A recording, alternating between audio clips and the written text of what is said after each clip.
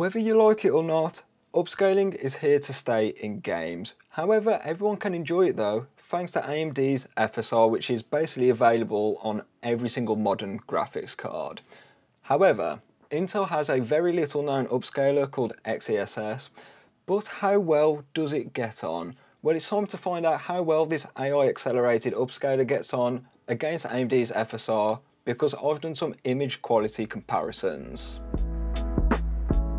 When Intel dropped their ARC cards in 2022, they also released their Xe Super Sampling Upscaler, which actually utilises the AI processors in Intel Arc GPUs.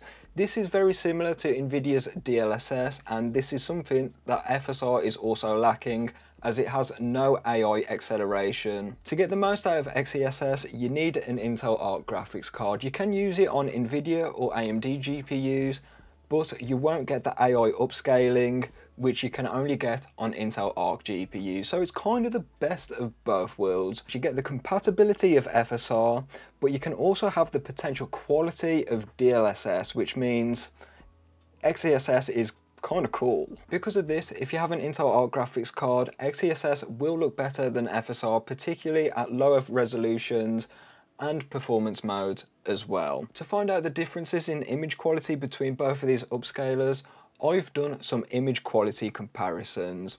All gameplay was captured on my Intel Arc A750's hardware encoder using the AVC mode, capturing 1440p gameplay at 30 megabits per second as I would have tested AV1 but it doesn't play well with Adobe Premiere Pro so yeah I couldn't have used AV1 today. I've done image quality comparisons for both performance and quality for both upscalers and I've also compared them to native rendering as well. So let's see which one of these upscaling methods has the better image quality. Cyberpunk is up first and on quality both of the upscaling methods look absolutely great. Although XeSS does pull slightly ahead though because it is less prone to artifacting. If we look at FSR, it does start to show a few issues, particularly with shimmering with the railings in the background and this is the biggest weakness of AMD's upscaler. Objects with intricate details like railings or telephone lines in the background do start to, well, fall apart a bit even at 1440p performance. But to be fair, this is when you're pixel peeping in gameplay and in motion, you're not really going to notice this. Switching up to performance, and this is where XeSS pulls far ahead of AMD's FSR in my opinion. The AI-based upscaler holds up surprisingly well even on performance at 1440p. It doesn't look as sharp as native, but to be fair, it's not that far off. Looking at the negatives and FSR does start to fall apart with significant shimmering, particularly on cars going by. And if you look at the railings in the background, FSR just kind of falls apart where XeSS does hold up surprisingly well. AMD's upscaling kind of reminds me of bad video compression as the clarity just simply isn't there.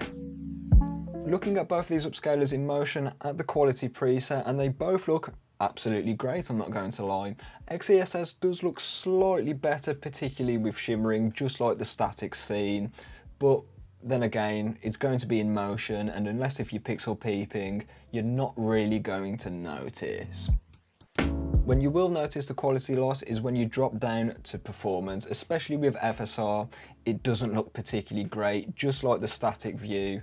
So I would avoid performance FSR altogether if you can. Performance XeSS doesn't look too bad, but then again, XeSS does hold up better thanks to its AI implementation. At quality, both upscalers look great in Forza Horizon 5, freezing the frame under the neon sign and XeSS does look a bit weird for some reason. I'm not sure if this is the frame it was paused on because I did try and skip it through a few frames, but it didn't seem to really make that much of a difference. But FSR does look quite noisy here with the reflections as well and native does look the best which is no surprise. But in motion, both upscaling methods look absolutely great. The only issue I have with FSR quality is the tail lights on cars. They look a bit noisy, but other than that, both the upscaling methods look brilliant. So I would like to say, for most people, as Forza Horizon 5 is a fast-paced game, you won't notice any difference at quality for the most part. Turning them down to performance though, and this is like Cyberpunk 2077, where FSR kind of falls apart. XeSS has the major upper hand over AMD's upscaler when set to performance, which is no surprise thanks to its AI acceleration. FSR simply just lacks clarity and suffers from artifacts more so than XeSS. Under the neon sign, FSR looks way worse now and the reflection's just an absolute noisy mess. Admittedly, XeSS doesn't look that great, but it is a whole lot better than AMD's FSR. In motion, FSR lacks substantial detail in a lot of the cars, whereas XeSS does retain a lot of these details, but both aren't great on performance admittedly, but then again, XeSS does a much better job. Both XeSS and FSR look great in Hogwarts Legacy when they're both set to quality. Even looking at the details in the leaves, they look great across both upscaling methods, as artifacting was pretty minimal across both of them, which is a surprise to me as I was expecting FSR to start shimmering quite a lot. Becoming quite a trend in today's video and that is FSR falls quite far behind at performance with a lot of shimmering and ghosting, particularly around the character's legs when he's running along and there's just a lack of clarity in general. Don't get me wrong, XeSS doesn't look perfect but as expected it does hold up better than AMD's upscaler. I would say XeSS at performance is passable but I can't really say the same for FSR at performance. Yet again, XeSS looks better in Hogwarts Legacy. Spider-Man was a bit of a weird one, that is because at quality XeSS, I thought it looked better than native, well at least sharper. FSR at quality also looks brilliant as well and in gameplay I don't think most people would be able to tell the difference between the three. Maybe quite a few people might say XeSS at quality looks better, but even then you're splitting hairs even if you're pixel peeping. So at quality, both these upscaling methods are totally fine. Dropping down to performance and XeSS still looks pretty decent as long as you don't pixel peep, particularly on the grills of cars and stuff like that. That's where the image quality does start to fall apart a bit. And as per, FSR looks a bit mushy with a lot of shimmering and a massive lack of clarity as well. So I feel like a bit of a broken record in this video, but FSR at performance doesn't really give that great of a gaming experience. Looking at a different scene in Spider-Man and it's pretty much the same as the last. Both XeSS and FSR look great and most gamers wouldn't even be able to tell the difference between both of these and native in my opinion. Performance follows the same trend set by the other games. XeSS renders much more detail than FSR, particularly in the buildings in the background. They look way sharper with XeSS compared to Performance FSR. So I would say avoid Performance FSR in Spider-Man Remastered, but XeSS performance you might just be able to get away with and if you just needed a slight performance boost both of these upscalers on quality look totally fine. So no surprise there then, the AI improved XeSS single-handedly defeats FSR at basically every single scenario today.